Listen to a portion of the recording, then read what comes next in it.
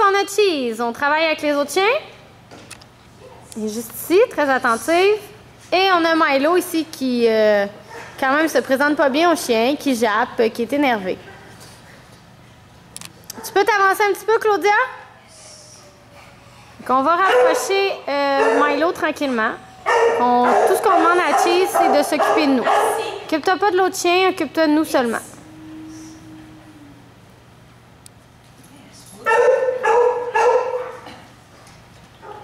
On voit quand même que Milo est assez proche. On va se rapprocher encore un petit peu.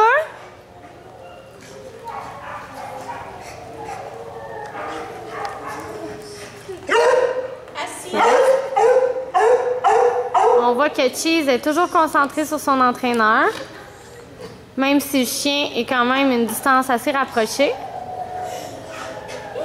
Parfait, tu vas te promener euh, juste ici avec euh, Milo. On lui demande rien de précis.